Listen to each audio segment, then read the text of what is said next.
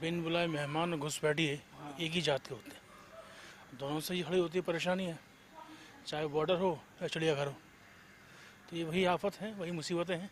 बस वो फटते हैं ये में फाड़ रहे हैं।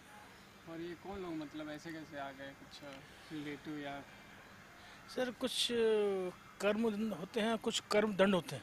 जी हमारे एक बड़े भाई हैं घोटक टीसी। उनके कर्म दंड हैं। किसी को गलत पेनल्टी काट दी और वो इनके गले पड़ गए। दूसरे भाई हैं उनके कुछ बॉस आए हैं उनको चाहिए सिफारिश तरक्की तो वो लालच घेर के लाया उनको। और सर बादाम की बात करें तो किसके लिए रखा रहता है जो आप खा जाते हैं? वो बादाम तो आए थे मेहमानों के लिए। बस और बादाम एक ऐसी चीज़ है कि उसका नाम ही है बादाम बड़ी मुश्किल से मिलता है।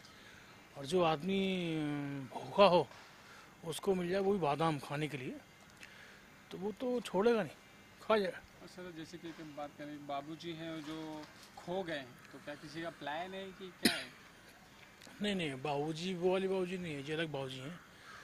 जो गंगा जी में डुबकी लगा रहे थे और उनका पैर स्लिप हुआ और गंगा जी के तेज प्रभाव से वो नेक्स्ट घाट पर पहुँच जाते हैं। वो गलती से वहाँ बह जाते हैं और खो जाते हैं। और वो एक अपने साथ किसी और को लेके चले आए हैं तो हाँ हल्का सा वो बाबूजी की बुद्धि या विकास कम है। उनको भूलने की बड़ी गंदी आदत है तो वो भूल से किसी और को यहाँ ले आए हैं। और बदकिस्मती देखिए कि वो औरत भी बुलक्कड़ है। सर जैसे रिलेटिव बात करें रियलिटी की नवरात्रि का त्यौहार चल रहा है तो आप किस तरह सेलिब्रेट कर रहे हैं? भैया, मैं, मेरा नवरात्रि जो होता है सुबह सुबह माता का नाम लेकर माता की पूजा, माता का ध्यान, और उनसे विनती करना, प्रार्थना करना कि माँ, जो देना हो देना, लेकिन सद्बुद्धि ज़रूर देना।